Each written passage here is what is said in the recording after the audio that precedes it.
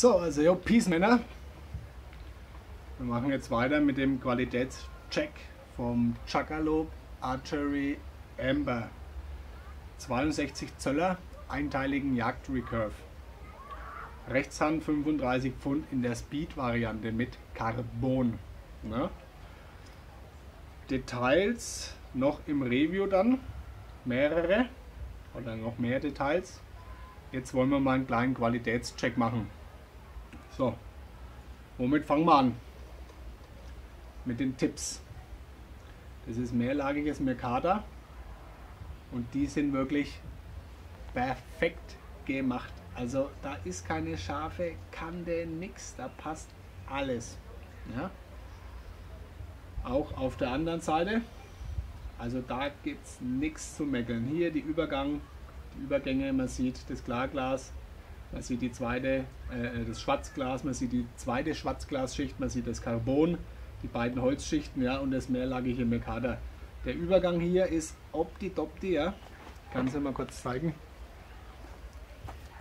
Also das ist wirklich ganz großes Kino. Das ist auch wirklich das, was man für einen 550 Euro Bogen wirklich erwartet. Ja. Wie gesagt, auf beiden Seiten. Er ist perfekt ausbalanciert. Na, jetzt dreht er sich ein wenig. Er ist perfekt ausbalanciert. Ja. Und ich habe jetzt auch schon mal geschaut. Die Wurfarme sind perfekt gerade. Die Rundungen, also die Biegungen sind gleichmäßig. Ich habe eine auf den Kopf auf den Boden stellen, habe geschaut, also das passt wirklich auch haargenau. Und wenn man so reinschaut, sind auch die Tipps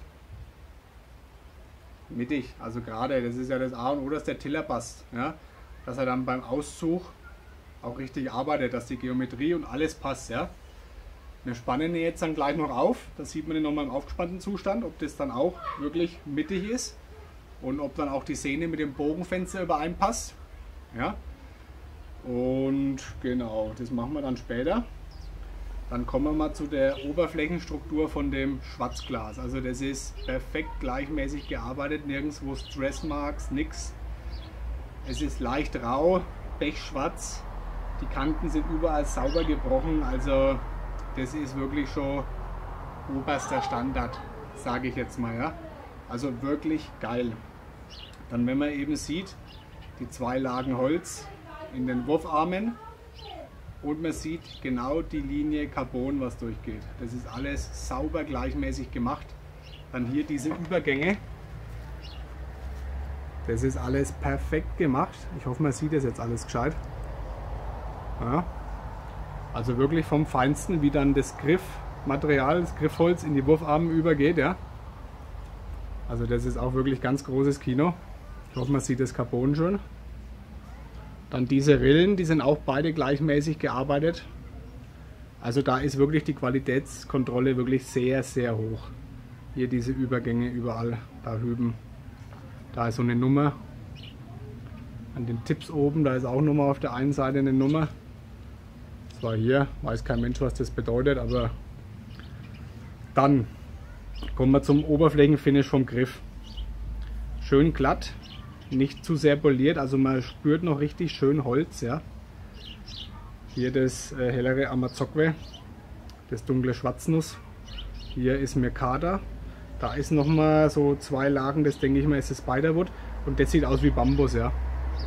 Das Holz, weil man da hier diese Punkte sieht, das hat eigentlich nur Bambus. Ich vermute, dass das noch mal Bambuslage ist. ja. Hier sieht man es dann noch mal schön. Also das ist top gemacht, ja. Da hier ist das Chakalope-Zeichen. Ja. Shelf, Bogenfenster. Ich hoffe, meine Kamera spielt mit. Man erkennt hier genau das Mercader. Und wie gesagt, das müsste Bambus sein. Weil das helle ist auf jeden Fall das Spiderwood. Und das durch diese Punkte da, das muss Bambus sein. Also da bin ich mir zu 99,9% sicher. Na? Dann haben wir hier oben, normalerweise geht es ja durch, haben wir hier die Verbindung. Das haben sie aber rausgefräst. Das ist dieses markante Griffdesign. Ja. Also das ist wirklich echt klasse gemacht. Ja, was ist noch wichtig? Oberflächenverarbeitung Holz. Das Verleimen, die Optik von dem Griffstück. die Maserung, Bogenfenster, also das ist alles echt genial gemacht.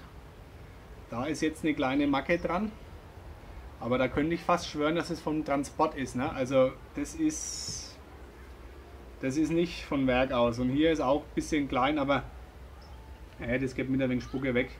Aber die haben den Karton anscheinend ganz schön rumgefetzt, ja, so wie es aussieht. Ich habe es euch ja beim Unboxing gezeigt. Der Karton war ganz schön chamoriert. Ja. Aber das ist nicht schlimm, das ist ein Gebrauchsgegenstand, wenn der mal auf dem Parcours irgendwo dort steht oder auf die Bank gelegt wird, dann kriegt man da auch so leichte Spuren. Und mit der Zeit, ich schieße ja eh übers blanke Schelf, ne? also mit der Pfeile und so weiter, da kriegt es ja sowieso alles Gebrauchsspuren. Aber der Rest ist wirklich 1A verarbeitet und das ist wirklich nochmal eine ganz andere Welt im Gegensatz zum Malachit. Also Malachit in allen Ehren für den Preis top, aber das Teil hier ist brutal. Wie gesagt, die Tipps sind gerade, die Wurfarme passen. Ja. Ich habe auch vorhin schon mal geguckt, ob die Tipps gleich hoch sind. Das passt auch. Balance passt, da wird dann der Tiller auch passen. Was ist noch wichtig? Was bleibt noch zu sagen?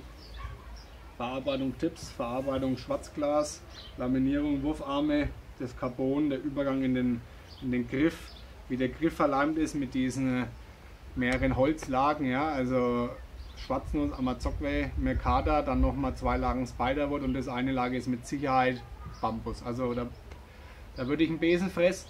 Wenn wir auf dem Parcours sind, ich frage den Tobi, was der sagt und der wird euch das bestätigen. Vielleicht schreibe ich auch nochmal die Bogensportwelt an, vielleicht könnt ihr was dazu sagen.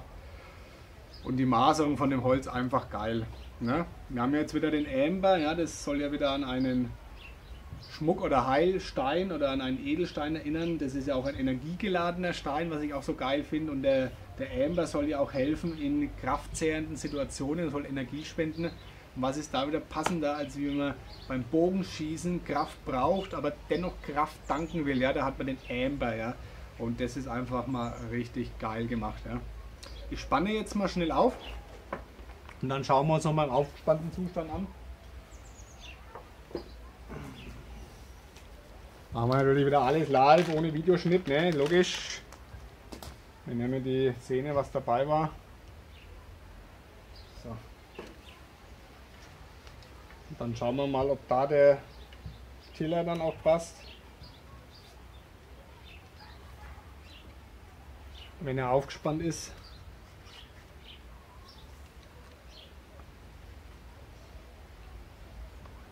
So.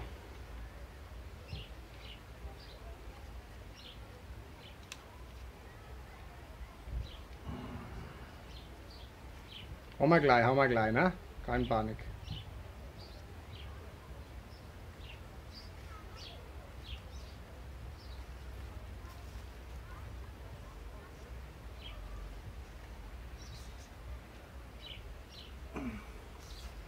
So, Standhöhe passt jetzt natürlich nicht.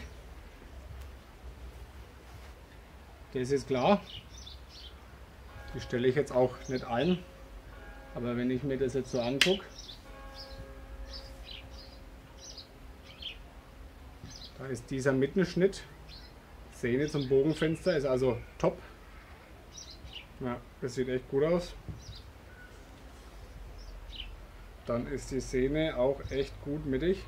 Ich hoffe, man sieht es jetzt.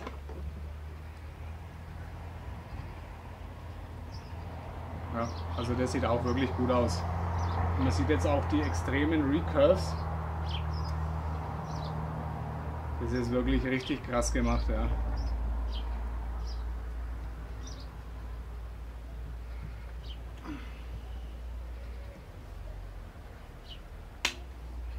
Jawohl, und so sieht das Ganze aus. Ja. Qualitätscheck vom Tagalog Archery Amber von der Bogensportwelt baller euch die Links in die Beschreibung, wenn ihr Interesse habt. Guckt euch das Ding an. Es ist wirklich ein krasses Teil und ich bin auf die Tests gespannt und in diesem Sinne, Peace und Cuts of Life, checks and cuts out.